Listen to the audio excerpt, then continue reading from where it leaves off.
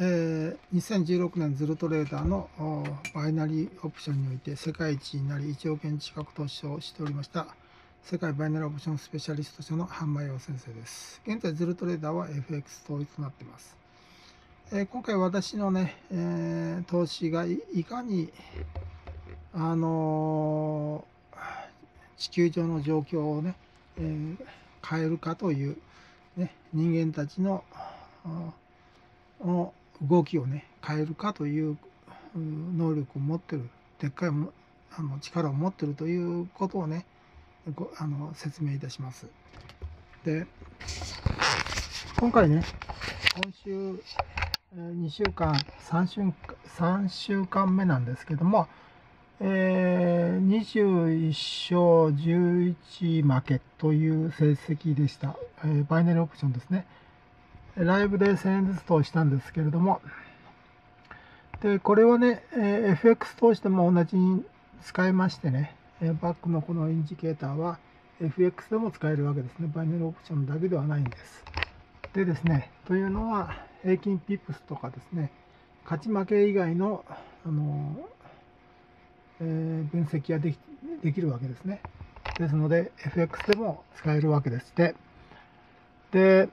これ1000円ずつですけども、このように、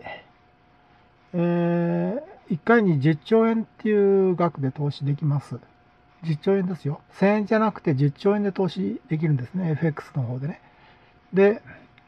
えー10兆円だったらどうなるかと言いますと、10兆円がえー21勝、ね、11連敗というこう、あ、じゃあ10 11負けということですね。この勝ですね。わかります？だから、100兆円でも投資できるわけですよ。私ね。えーで、これもし100兆円で投資したらいくらの利益になるかと思いますと、ね、私の能力は、地球上の人間たちの社会を、ね、いかに、ね、えー力があるかということを説明しますと、これ3 32万円、あ、3万2千使ってるわけですね。で、利益が、えーですから、3万9、3万9千、ね、えー480円ですから、約、引きますと、えー7480円ですね。では、まあ、約8000と考えてもらいまして、8000でもし100兆円ずつ投資してたらどうなりますか ?8 倍になるわけですね。ね？100兆円だから8倍と言ったら、まあ、7倍としてもね。えー、700兆円も、半前岩尾先生は稼げるわけです。今、現実ね。えー3週間で、